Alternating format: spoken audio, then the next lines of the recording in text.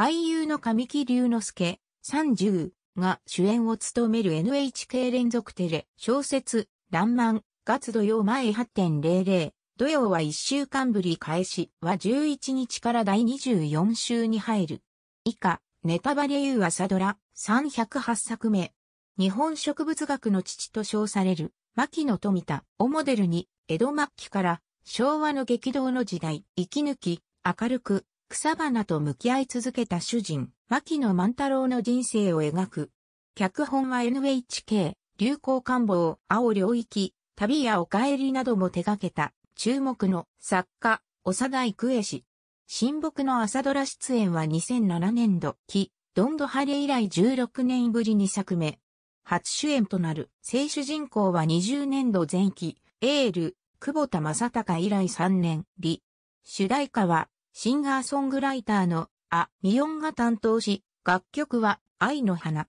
語りは、女優の、崎葵が務める。第24週、9月11日から9月15日は、土取地。万太郎、新木は、図鑑発刊に向け、原稿を描き、蹴る日々を送っていた。そんなある日、末子、浜、南の店には、早川いつま、宮野守の姿。万太郎、いつまと久々の再会を果たし、長森徹、中川博士と、う青年を紹介される。長森は万太郎に、図鑑発のための費用を支援したいと申し出る。一方、オス、子孫淳と、綾、佐久間由衣、そして藤丸、前原水は酒蔵を開くため沼津へと移り住むことを、目、